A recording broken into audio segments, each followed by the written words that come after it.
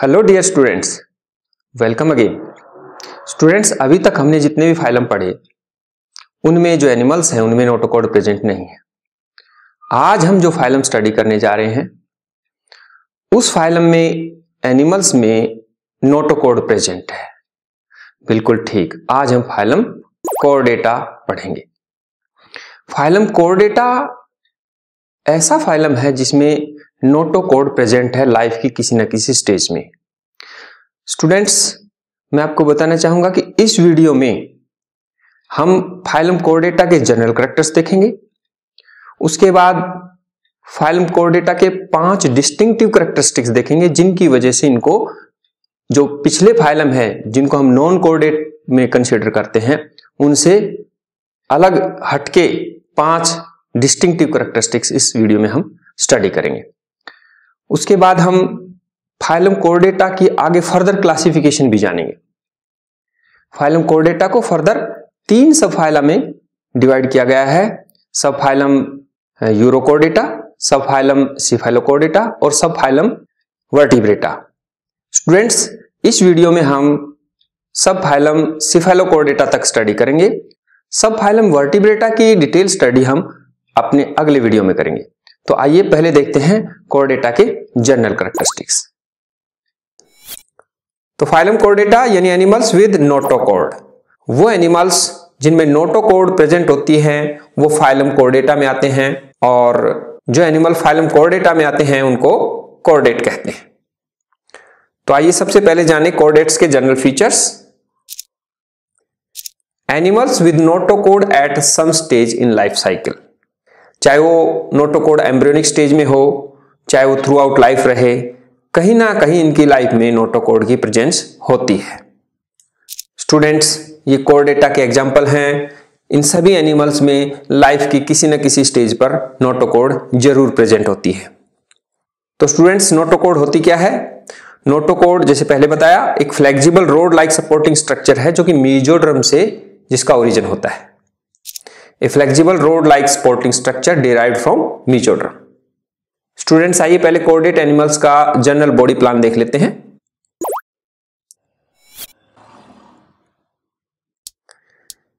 देखिए, इनमें ये रोड लाइक स्ट्रक्चर जो आपको नज़र आ रहा है, ये फ्लेक्सिबल रोड नोटोकोड कहलाती है।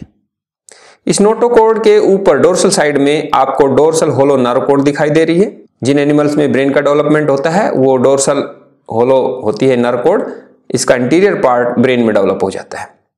स्टूडेंट्स इसके अलावा कोर्डेट्स में फेरेंजियल गिलस्लिट्स मिलेंगे और पोस्ट एनल टेल मिलेगी। एनएस के बाद बॉडी का रीजन है पोस्ट एनल टेल कहलाता है।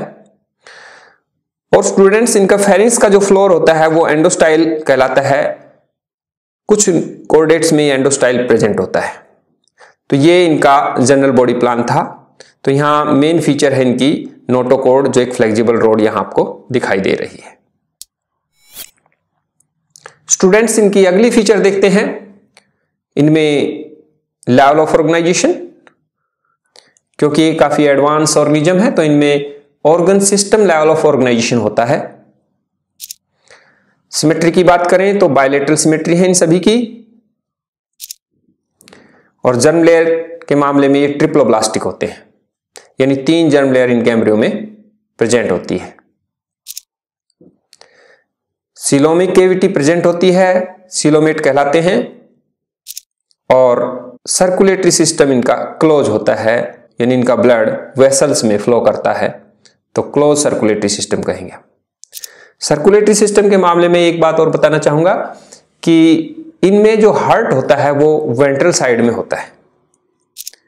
स्टूडेंट्स हमने जो नॉन कोर्डेट स्टडी किए थे, उनमें यदि किसी एनिमल में हार्ट था तो वो डोर्सल साइड में प्रेजेंट था। यहाँ पर कोर्डेट्स में हार्ट वेंट्रल साइड में प्रेजेंट होता है। स्टूडेंट्स ये थे जनरल फीचर्स आइए अब इनके कुछ डिस्टिंक्टिव फीचर्स देखते हैं, जो इनको नॉन कोर्डेट से अलग करते हैं।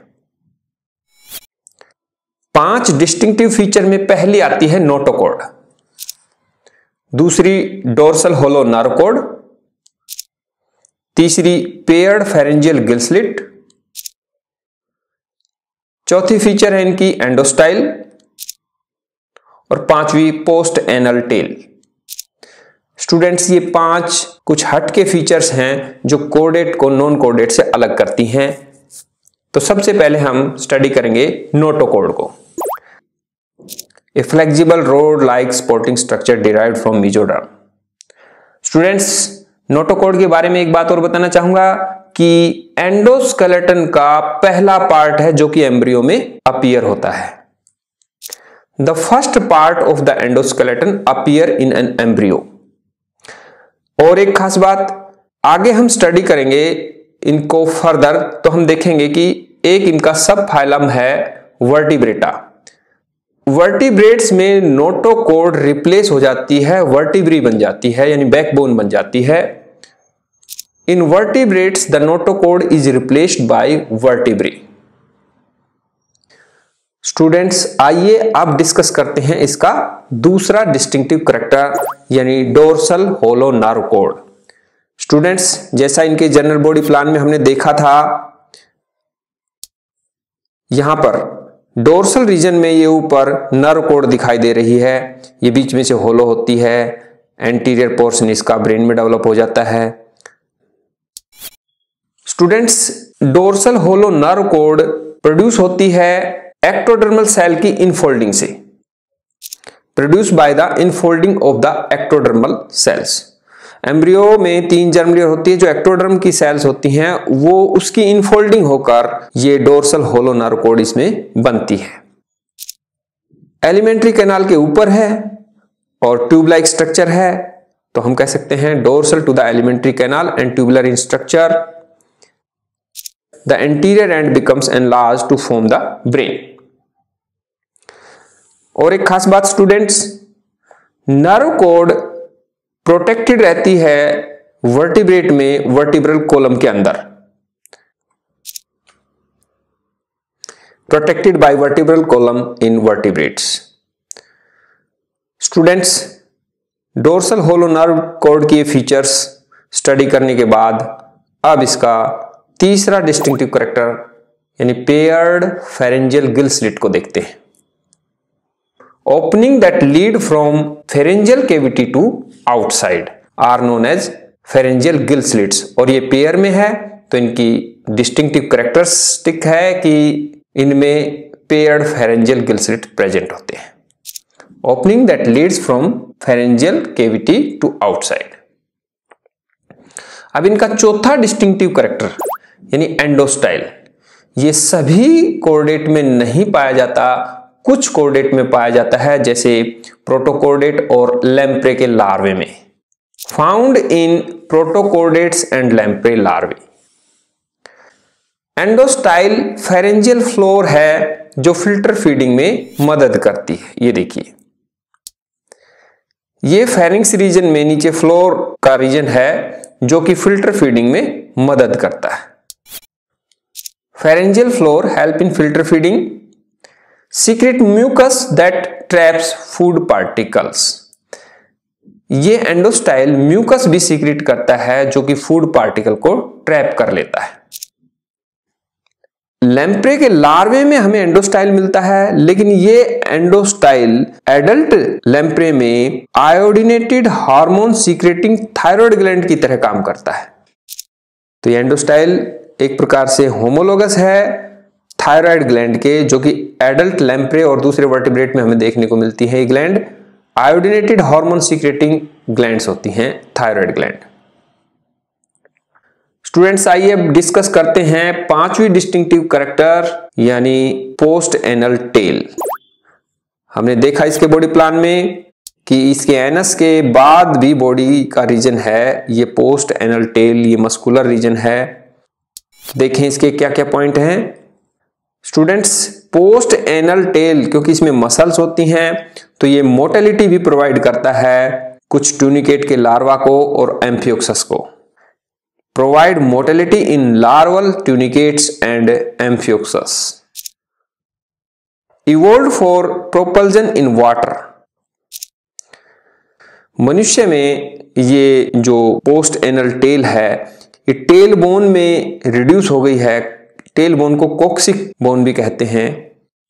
रिड्यूस टू द कोक्सिक यानी टेल बोन इन ह्यूमंस तो इस प्रकार से ये पाँच डिस्टिंक्टिव करेक्टरिस्टिक्स सिर्फ़ कोर्डेट में ही पाए जाते हैं नॉन कोर्डेट्स में नहीं पाए जाते। स्टूडेंट्स अब आइए देखते हैं कि कोर्डेट इन पाँच डिस्टिंक्टिव करेक्टर्स के हिसाब से किस प्रकार नॉन कोर्डेट से डिफर करते हैं। यानी कोर्डेट्स और नॉन कोर्डेट्स में अब हम डिफरेंस देखेंगे। Comparison between chordates and non chordates एक तरफ़ हमने कोऑर्डिनेट्स के लिए कॉलम बना दिया है, दूसरी तरफ़ हमने नॉन कोऑर्डिनेट्स के लिए कॉलम बना दिया है। इन कॉलम्स में इनके फीचर्स लिखेंगे। तो पहला पॉइंट आता है कि कोऑर्डिनेट में नोटोकोड प्रेजेंट होती है और नॉन कोऑर्डिनेट में नोटोकोड प्रेजेंट नहीं होती, यानी अब्सेंट होती है। सेकंड कंपैरिजन देखें। Central nervous system is dorsal यानी कोर्डेट्स में जो हमने देखा डोर्सल होलो नर्व कोड जिसका ज़िक्र हमने किया था, वो सेंट्रल नर्वस सिस्टम का काम करता है और वो होलो है और सिंगल है। यानी एक नर्व कोड है जो कि होलो है और डोर्सल पोजीशन में।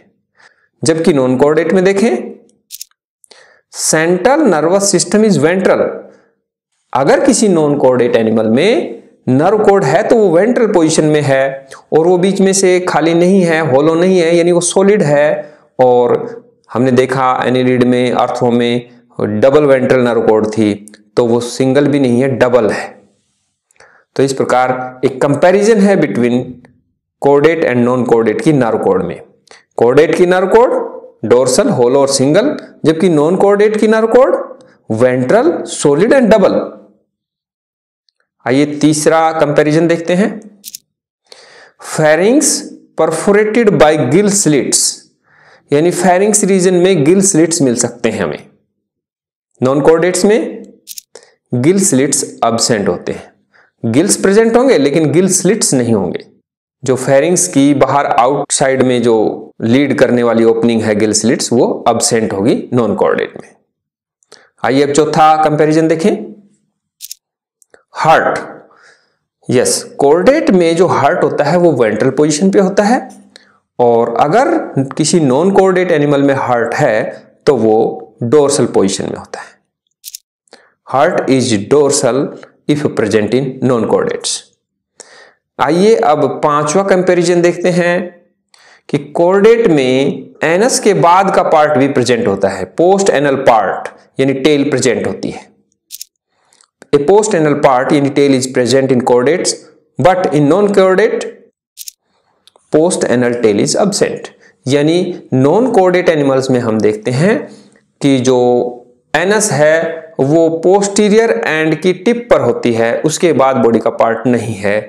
तो हम कहेंगे post anal tail is absent तो स्टूडेंट्स ये तो कंपैरिजन था डिफरेंस था कोर्डेट और नॉन कोर्डेट के बीच में। आइए अब देखते हैं कि फाइलम कोर्डेटा को आगे तीन सब फाइला में डिवाइड किया गया है। आइए देखते हैं कौन कौन से हैं। Phylum Chordata is divided into three sub phyla. Phylum Chordata तीन सब फाइला में डिवाइड हो रखा है। तो पहला सब फाइलम है यूरोकोर्डेटा जिसको हम ट्यूनिकेटा भी कहते हैं। दूसरा सब फाइलम है सिफेलोकोर्डेटा और तीसरा सब फाइलम है वर्टिब्रेटा। स्टूडेंट्स, यूरोकोर्डेटा सिफेलोकोर्डेटा और वर्टिब्रेटा, ये तीन सब फाइला नोटोकोड की प्रेजेंस के हिसाब से बनाए गए हैं। जिन एनिमल्स में नोटोकोड सिर्फ़ लार्वल स्टेज में ही प्रेजेंट होती है और टेल रीजन में प्रेजेंट होती है, वो यूरोकोर्डेट्स या ट्यूनिकेट्स कहलाते हैं। Notochord is present only in larval tails. Larval stage में नोटोकोड सिर्फ़ टेल रीजन में प्रेजेंट होती है, जैसे लार्वा मेटामोर्फोसिस होकर एडल्ट बनता है नोटोकोड डिसअपियर हो जाती है। यानी लाइफ में बाद में नोटोकोड प्रेजेंट नहीं होती। तो हम कह सकते हैं कि लाइफ के किसी ना किसी पार्ट में लार्वल स्टेज में ही अगर नोटोकोड भी प्रेजेंट है तो जैसे हमने पहले देखा था कोडेटा की डेफिनेशन में कि कोडेट्स वो एनिमल्स हैं जिनकी लाइफ में एटलीस्ट किसी एक स्टेज पर भी अगर नोटोकोड प्रेजेंट है तो वो कोर्डेट कहलाते हैं। तो यूरो कोर्डेटा या टूनिकेटा में जो एनिमल हैं, वो कोर्डेट हैं और इनकी लाइफ में सिर्फ़ लार्वल स्टेज में और सिर्फ़ टेल रीजन में ही नोटोकोड प्रेजेंट होती है। आइए इनके एग्ज़ाम्पल देखते हैं। एसिडिया, साल्पा, डोलियोलम, ये इनके एग्ज़ाम्पल है। सिफेलोकोड डेटा में हम देखेंगे कि notochord head to tail region तक प्रेजेंट है। सिर्फ़ टेल में नहीं है, head to tail throughout body present है और persistent throughout their life और पूरी लाइफ में नोटोकोड प्रेजेंट रहती है। Notochord extend from head to tail region and persistent throughout their life इनका एग्ज़ाम्पल है ब्रैंक्योस्टोमा। ब्रैंक्योस्टोमा को एम्फियोक्सस या लेंसिलेट भी कहते हैं। स्टूडेंट्स यूरोकोर्डेट्स और सिफेलोकोर्डेट्स दोनों को कलेक्टिवली प्रोटोकोडेट्स भी कहते हैं। और इनकी खासियत यह है कि ये एक्सक्लूसिवली मैराइन होते हैं फ्रेश वाटर में नहीं मिलते। Protochordates are exclusively marine students अब बात करते हैं वर्टिब्रेटा की। स्टूडेंट्स वर्टिब्रेटा में नोटोकोड सिर्फ़ एम्ब्रियोनिक स्टेज में प्रेजेंट होती है। लेकिन बाद में डिसअपियर भी नहीं होती। तो क्या बनता है इस नोटोकोड का? आइए देखते हैं। Notochord is present only in embryonic stage. Embryonic stage में नोटोकोड प्रेजेंट है। बट एम्ब्रियो के बाद जैसे ही एडल्ट बनता है तो क्या हो जाता है नोटोकोड का? नोटोकोड बैकबोन में कन्वर्ट हो जाती है। यह वर्टिब्रेट्स की मेन फीचर है। इट बिकम्स कार्टिलेजिनस और बोनी वर्टिब्रल कॉलम यानी बैकबोन इन एडल्ट इसलिए हम कह सकते हैं कि जितने भी वर्टिब्रेट हैं, ये सारे कोर्डेट हैं। बट सारे कोर्डेट तो वर्टिब्रेट नहीं है। सभी में तो नोटोकोड वर्टिब्रल कॉलम में कन्वर्ट नहीं होती। Thus all vertebrates are chordate but all chordates are not vertebrate तो स्टूडेंट्स देखा आपने किस प्रकार से फाइलम कोर्डेटा को तीन सब फाइला में कैटेगराइज किया गया है। सब फाइलम वर्टिब्रेटा को हम अपनी अगली वीडियो में डिटेल स्टडी के साथ लेके आएँगे। तब तक हमारे साथ बने रहिए। हमारे साथ बने रहने के लिए आपका बहुत बहुत धन्यवाद।